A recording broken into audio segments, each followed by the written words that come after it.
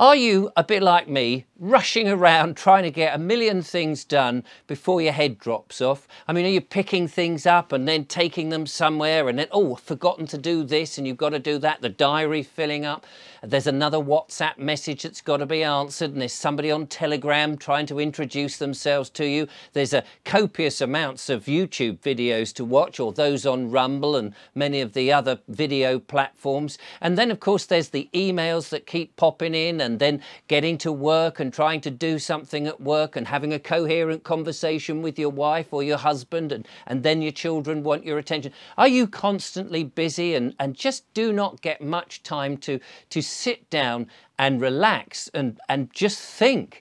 Is that the case with you? It certainly feels like that with me at the moment. And yet, behind all of this, whilst we're being like ants dashing about, there is, of course, the slow, bigger picture.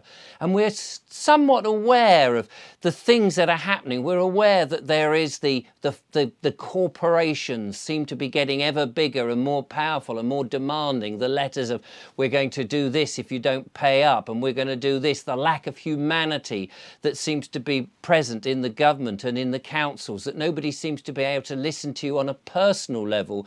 They're just sort of looking as if everybody's become non playing characters or they're just neutral in their face. They're almost robotic, aren't they? When you, in, when you talk to people who work for corporations, they've been so trained as to have no human emotion whatsoever and go, oh, yes, I know. Oh, yes, I sympathise. Yes, that's right. But please cough up the money now. We send the boys round with the sticks and you'd rather we didn't do that. And all this sort of weird, high pressure threatening so that you rush faster and faster continually on that hamster wheel trying to get away from everything.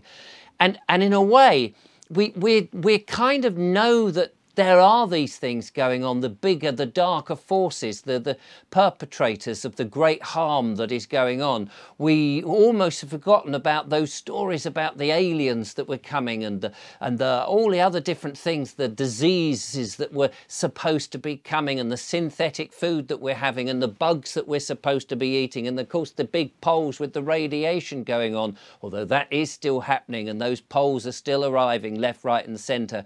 And we're sitting in this big soup of uh, radiation from our phones and from the modems and all of that. But we're so busy now. We're so busy trying to just pay the bills. Oh, another energy bill and another this and another that, and adverts trying desperately to sell more tat that we don't need, that we just are not having that chance to sit down, as I say, and think and take it easy and, and view the bigger picture and actually decide how we are individually on our own and with our friends going to react to these things. And instead, we're, we're, we're just all high pressure. Oh, golly, I've got a headache. Better take a pill. Got to go and do this. Got to go and do that.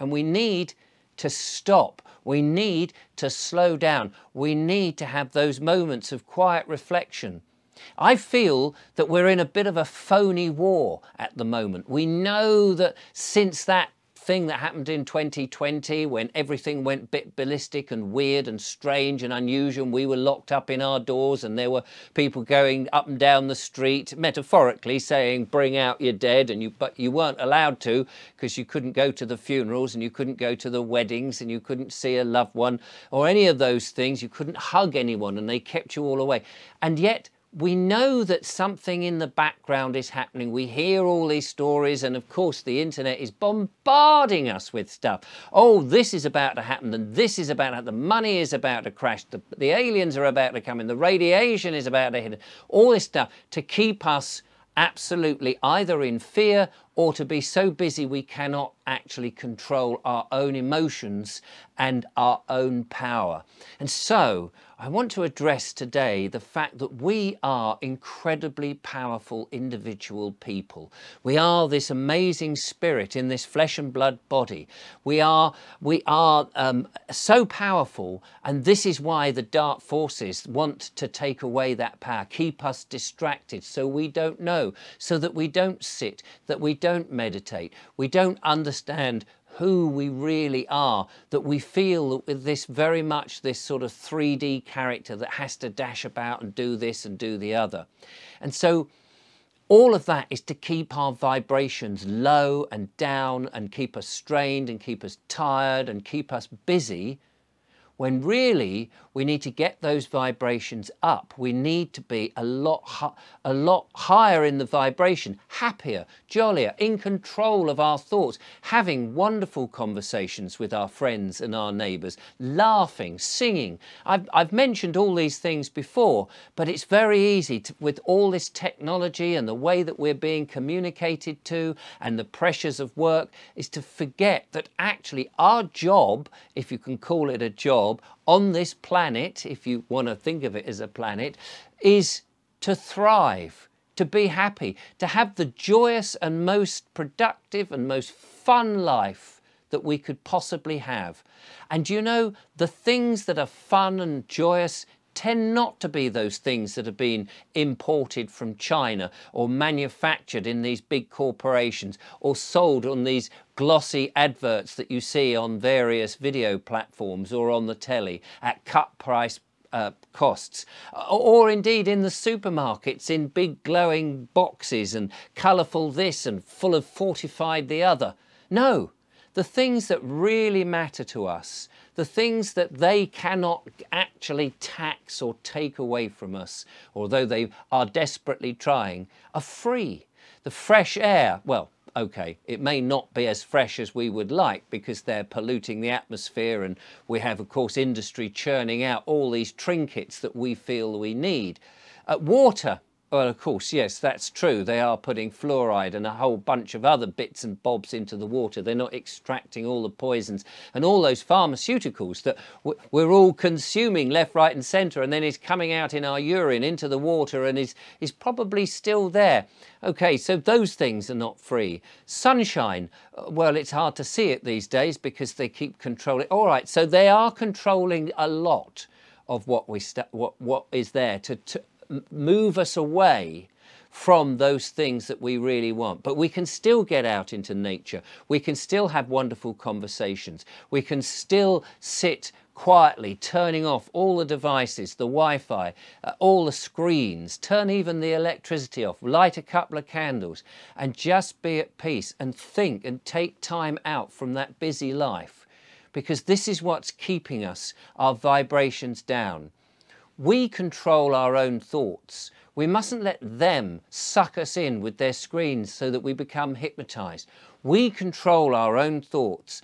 And if we want to be happy and uh, enjoy life, we must take back that control. Be responsible. Don't let others influence how you think. That we can control our own thoughts and say, you know, I'm going to be happy today. I don't care what happens. I am happy. I'm raising my vibration. I'm raising the ability to be as a spiritual being, the ability to change the environment. And collectively, the more people that do this, the more people that raise up their vibrations and tell these entities that are trying to prevent and take away all these things, you no longer exist. You're not part of my world. I push you off. I've turned off the television. I don't read the newspapers. I don't hear the news. I don't see the adverts. I am in my own space. I don't care about the things in the world that I personally can have no contribution other than to worry about. And I'm not worrying about it anymore. From now on, I'm going to live my life in a happy, thriving, joyous mode because that is what we must do. And that is what they don't want us to do. And all this terror and horror on different parts of the world, the waiting for something to happen, the, the advent of this 5G and all these other things. Let's take the thing that we can do is to control our minds. And so we need to take back the control of our thoughts, our minds, our attitudes, and our emotions. And don't let this pressure affect us in the negative. In other words, what I'm trying to get to is we've got to remain as positive and as, as, as high in our vibrations as possible because this is another way that we can trump what these other people are doing because they want us down.